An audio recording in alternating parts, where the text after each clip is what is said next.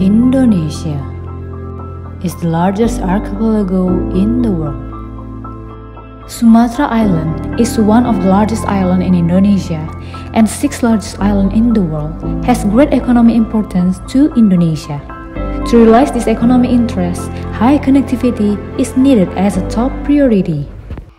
Trans-Sumatra Toll Road is one of the most significant projects in Indonesia, which serves to connect cities on Sumatra Island from Lampung to Aceh with length of 2818 km.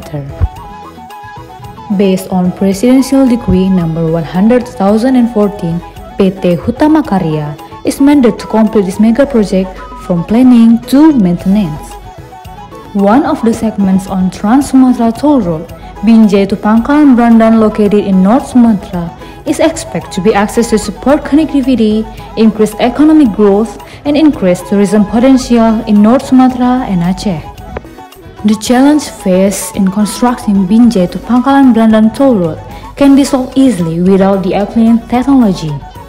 One technology that has been widely used recently in the construction world is Building Information Modeling or BIM.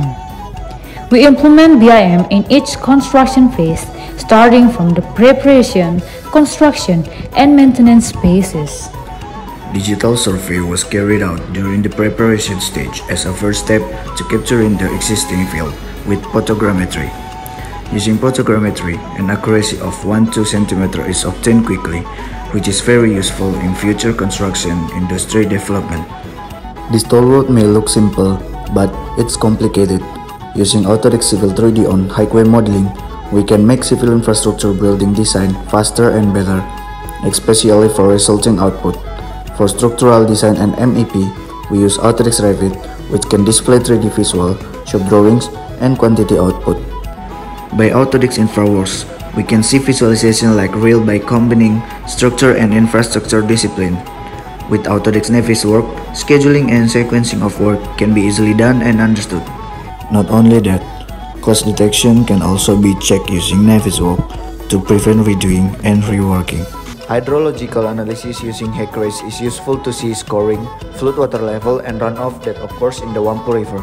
From the result of the HEC-RAS analysis, the MEB is obtained at 11.27 meter. The freeboard requirements that are allowed by BBWS are for the 1.5 meter Wampu bridge from MEB Key 100. Scouring that occurs from deep analysis 5.6 meter. So it is necessary need a cover dam to avoid scouring the pillars.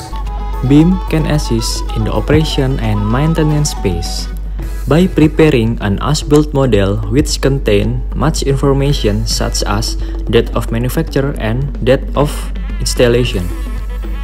We use BIM 360 as common data environment to coordinate between stakeholders during the digital construction process. BIM model is submitted to stakeholders through workflow approval on BIM 360 so that stakeholder can review the BIM product. GIS dashboard can integrate our data as a digital twin in an online platform, where stakeholders can view geospatial data combined with BIM, orthophoto, progress photo, project video, and CCTV models up to the monthly progress curve and remaining time. Implementation of BIM for cost efficiency is very possible. In this case, BIM can calculate the volume requirements for changes to the old box cover design with the latest especially the addition of piles and several other changes. Thus, the need for changes or addition cost can be predicted. BIM for time efficiency can be seen from the difference in conventional processing time which is longer compared to working using BIM. Because by BIM, highway or structure work, MEP work, and output quantity can be done simultaneously. BIM means more than just using the technologies. It is about how we properly integrate the people and technologies.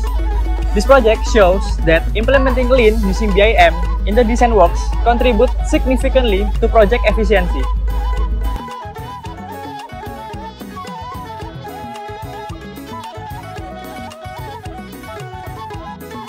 To be the world leader in the construction industry.